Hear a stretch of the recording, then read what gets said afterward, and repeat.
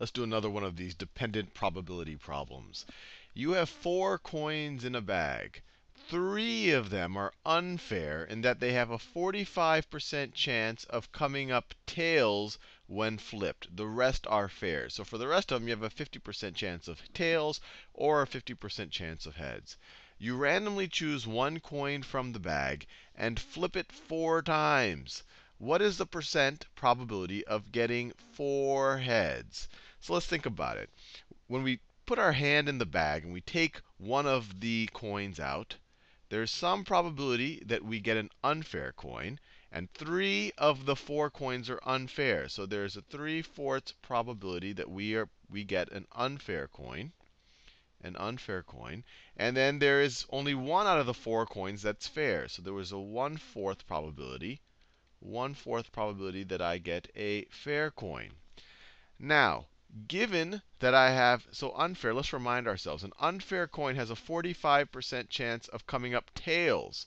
So this means that I have a 45% chance of tails, which also means, we have to be careful here because they're asking us about heads. If I have a 45% chance of getting tails, that means I have a 55% chance of getting heads right? Whatever, I have a 100% chance of getting one of these two. If it's 45% for tails, 100 minus 45 is 55 for heads. For the fair coin, I have a 50% chance of tails and a 50% chance of heads. 50% heads. Fair enough. Now, I want to know in either of these scenarios, what is a percent probability of getting four heads?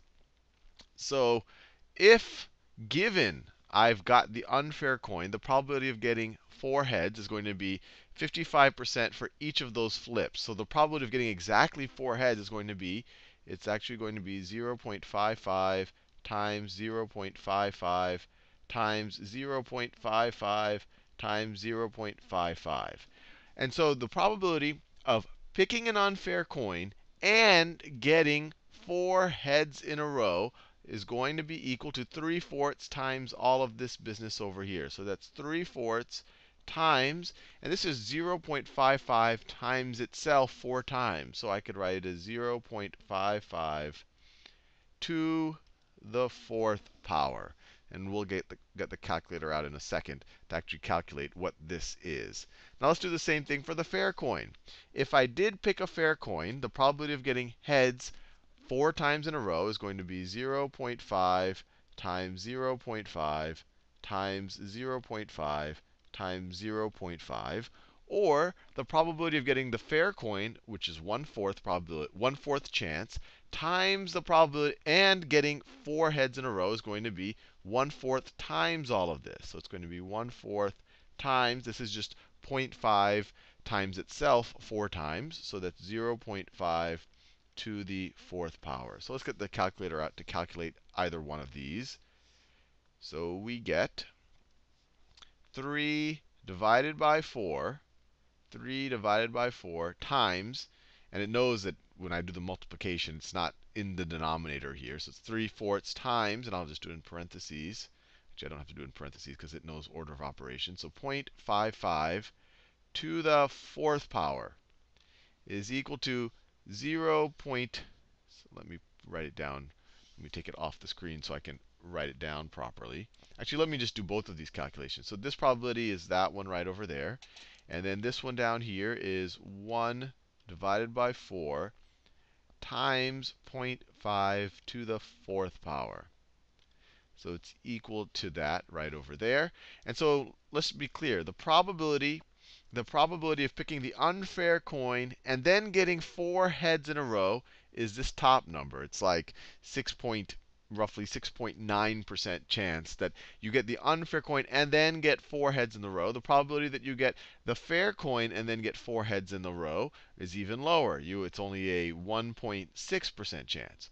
Now, the probability of getting four heads in the row either way is going to be the sum of this and this, or the sum of that and that, which is going to be let me keep my calculator out. So it's going to be equal to, I can just take the previous answer. Let me just retype it so I don't confuse you. So 0.015625 plus 0.0686 two nine. Where is that? Two nine six eight seven five. Six eight seven five. I'm going to round it anyway, so it won't matter too much. So if I take the sum, let me take this off screen and then let me, so I can still see it, and then let me write it. So what I got here, this one is 0.068629, and I'll round it 7. And this down here, this down here was 0.015625. And when you add these two up, because we just care about getting four heads, either way, this is the probability of getting it this way with the unfair coin. This is the probability of getting it with the fair coin. We want it either way, so let's add the two, which we already did in our calculator. So if you add that number to that number, you get 0.08425, and it keeps going. But I'm just going to round it. So this is the same thing as this is equal to 8.425%, if I want to round it a little bit more, 8.43% chance of getting four heads in a row. And once again, that should be a, that's a slightly higher number than if all of the coins were fair, because there's a there's a 3 fourths chance that I get a coin that has a better than even chance of getting heads. So that's why this number is going to be a little bit higher than the probability of if I had a fair coin of just getting four heads in a row.